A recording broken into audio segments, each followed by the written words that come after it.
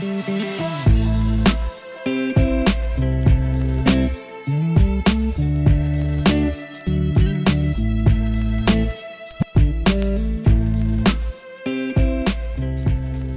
is up everyone, welcome to this tutorial. In this video, I'll show you how to add a download button widget to your page with the JetElements plugin.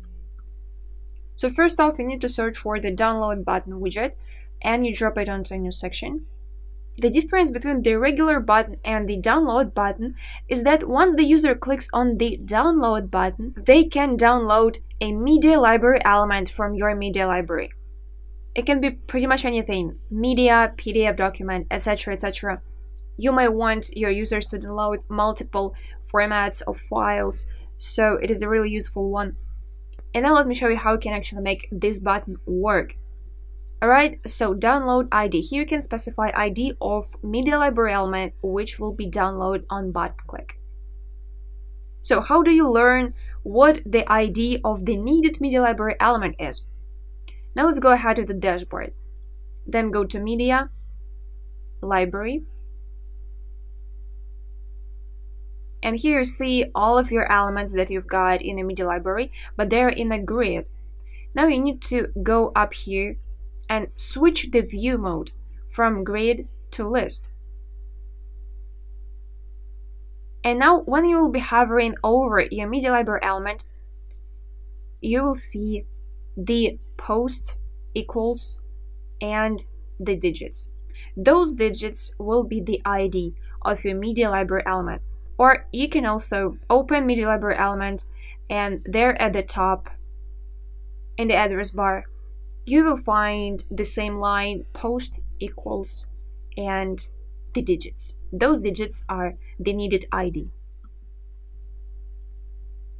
So I want the users to download this SVG file when they click on the download button. So I go ahead and I copy this ID. I get back to the Elementor editor where I have started adding my download button. And then here in the download ID field, I simply paste this ID that I have copied. And as you see, it pulled out uh, the size right away. Let's have a look at what this is. Download link subtext. As you see, you have the link text, which is in this case download, or you can use the macros, which is those percent signs and which will pull out the size of your element that you want the users to download. Let's check this out. Alright, the size is the same, so this is how you can check whether you have put the right ID here in this field. Okay, so here you choose the icon for your button. There is quite a number of them, so you'll have a wide choice. Then let's go ahead to the style tab. You choose the icon size, like you can make it bigger, smaller, you can choose where you want to position this icon.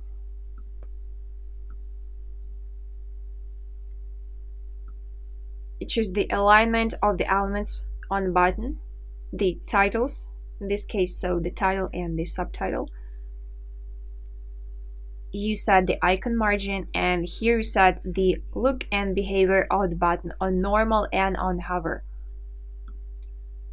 So you can choose the color, There's also an option to set a gradient. Like so, you can add image. Here you can change the border radius.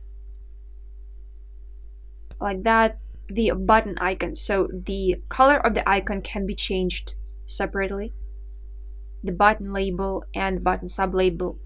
So every of these three elements on the button can be changed right here. So independently from each other. Well, and that's pretty much it for this tutorial on how to add a download button to your page with the help of Jet Elements plugin. What else we can do is to actually go ahead and check this button out. Let's publish this page. And I'll go and have a look at the preview. So let's click on the button. And here we go, I have just downloaded the SVG file, the ID of which I set right there in the download ID. So I hope you liked this tutorial, thank you so much for watching and I'll see you in another one.